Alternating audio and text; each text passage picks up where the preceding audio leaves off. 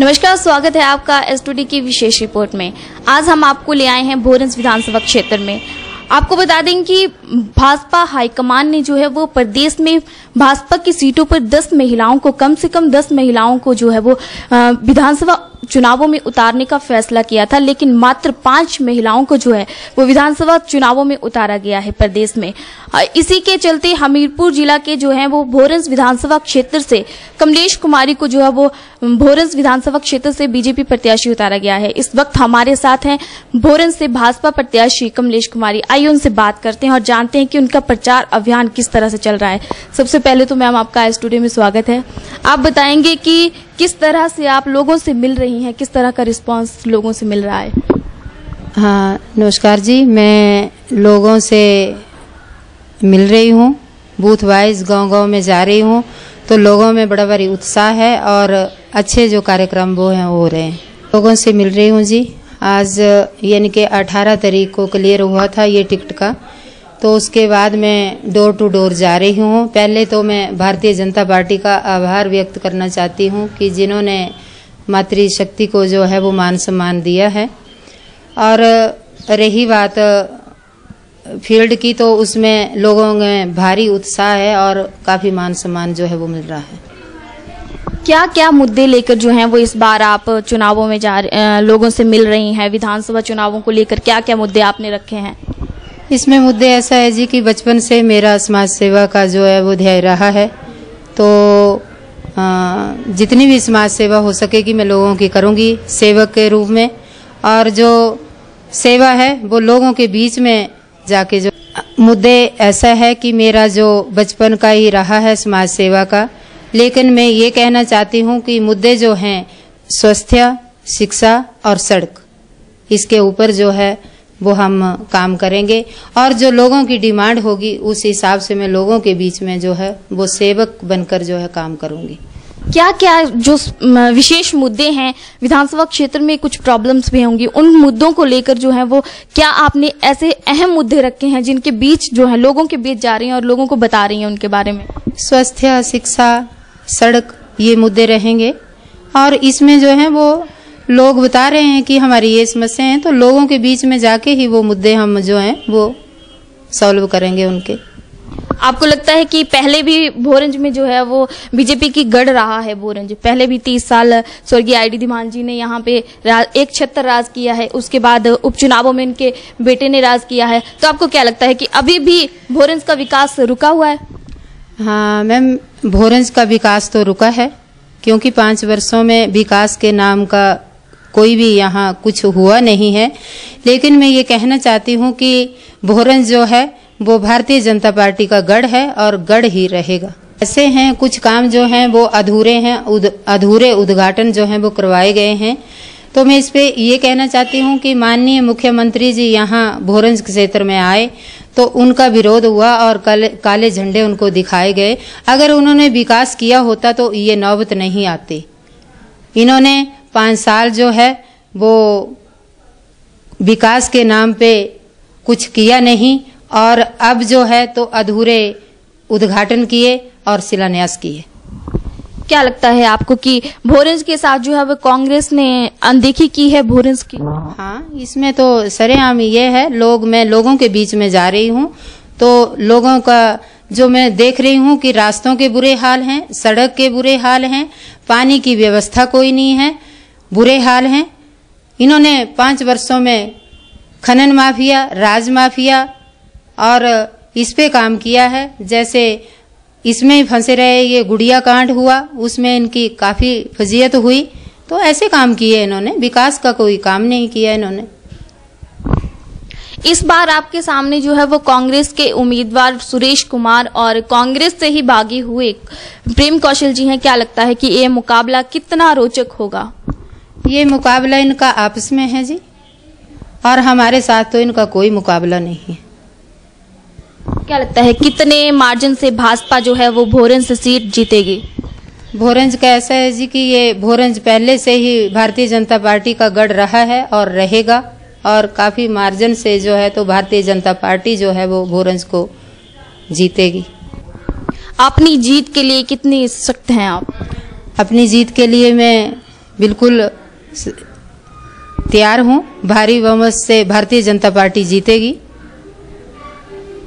राजनीति में आप नया चेहरा हैं एक लोगों के लिए। अगर राजनीति की बात की जाए पहली बार आपको एमएलए का जो है वो टिकट यहाँ से भाजपा की तरफ़ से मिला है।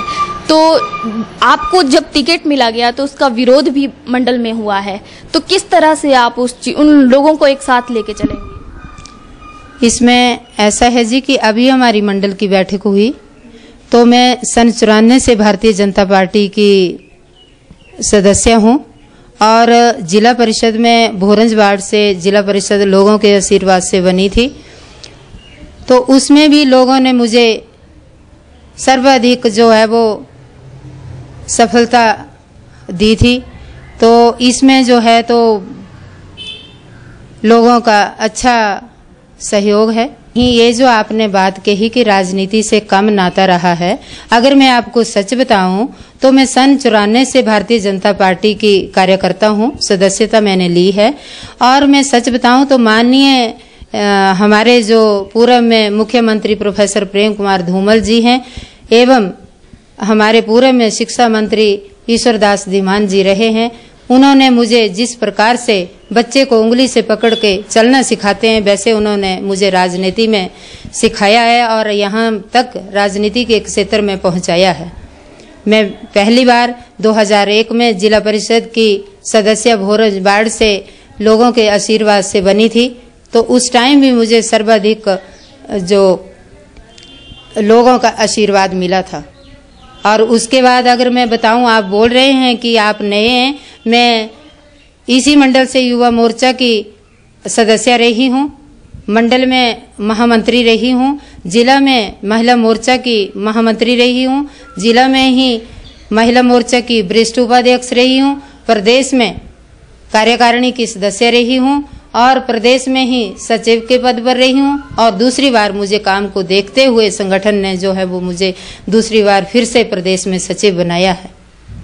आप इस बात को बोल रहे हैं। और मैं ये भी कहना चाहती हूँ कि ये भोरंज क्षेत्र जो है ये हम मैं इससे काफ़ी समय से जुड़ी हुई हूँ। सबसे बड़ी बात कि यहाँ पे भोरंज में जब आपको टिकट मिला था उस टाइम विरोध हुआ था तो कुछ लोगों ने इस्तीफे भी दिए थे। क्या अब क्या स्थिति है उन लोगों की? नहीं मैडम ऐसा कुछ नहीं है। सब साथ हैं लोग और साथ ही रहेंगे। भारतीय जनता पार्टी का संगठन है वो कभी रुष्ट नहीं होता। वो साथ है। जो इस्तीफे दिए थे उनकी क्या स्थिति है? वो सब साथ हैं। आज की डेट में आपने देखा होना हमारे जो मंडल के पदाधिकारी हैं वो सब साथ हैं। आदरणीय अनिल धीमान जी हमारे साथ हैं। सब साथ हैं। क्या लगता है आपको क्या इस बार कैसा रहेगा भोरंज बीजेपी के लिए? जनता कितना साथ देगी? भोरंज में मैंने पहले भी बोल दिया है कि भोरंज जो है वो भारतीय जनता पार्टी का गढ़ है और गढ़ ही रहेगा। माना जा रहा है कि आपको जो टिकट दी गई है उसमें आरएसएस का हाथ है क्योंकि आपके हस्बैंड जो हैं वो आरएसएस से जुड़े हुए हैं। कितना सच मानती हैं इस बात को? ऐसा है जी कि ये सबकी देन है भारतीय जनता पार्टी और सबकी देन है। ये टिकट जो है वो सबके निर्णय के साथ ही जो हमारी जो वहाँ कमेटी बैठती है जो कोर कमेटी है उस सब का निर्णय है। पिछले चुनावों में जो है वो उपचुनावों में जो है वो, भोरंज का अस्पताल जो है वो काफ़ी चर्चा में रहा। तो क्या इस बार अगर आप, अपने मुद्दों की बात करें तो अस्पताल को लेकर क्या करना चाहेंगे? अस्पताल की बात है जी तो अभी हमने पीछे जो इसमें रोगी सेवा समिति है, उसका हमें, हमने गठन किया है, उसकी मैं सदस्य हूँ। और मैं ये चाहती हूँ कि अगर भोरंज की जनता का आशीर्वाद रहा तो जितना मेरे से हो सकेगा, हॉस्पिटल के बारे में करूँगी। ये मेरा मानना है। साथ ही आप भोरंज की एक महिला होने के नाते महिलाओं को भोरंज की महिलाओं को आपसे ज़्यादा उम्मीदें हैं। तो भोरंज की महिलाओं के लिए आप अगर जीतती हैं इस सीट से तो क्या करेंगे? मैं शुरू से ही ग्राउंड लेवल से चली हूँ जिला परिषद रही हूँ प्रधान रही हूँ। तो मैं ये चाहती हूँ कि मैं पहले भी मैं महिलाओं के हक में जो है वो कार्य कर रही हूँ। महिलाओं के लिए चाहे स्वरोज की स्वरोजगार की बात हो या चाहे कुछ भी हो जो महिलाएँ चाहती हों उसके लिए मैं उनके साथ खड़ी हूँ और करूँगी उनके लिए। लोगों से मिल रही हैं आप। लोगों का किस तरह से आपको रुझान मिल रहा है? कैसा सहयोग है लोगों का? क्या कहना है? लोगों का बहुत बढ़िया रुझान है जी। लोग बहुत खुश हैं। शुक्रिया कमलेश जी आपने हमसे बात की। तो आपने देखा कि भोरन से भाजपा प्रत्याशी कमलेश जी ने हमसे बात की और उन्होंने दावा किया है कि वो भोरन से भारी मतों से जीतेंगी। कैमरामैन सुमित के साथ मीनाक्षी, एस न्यूज़ हमीरपुर।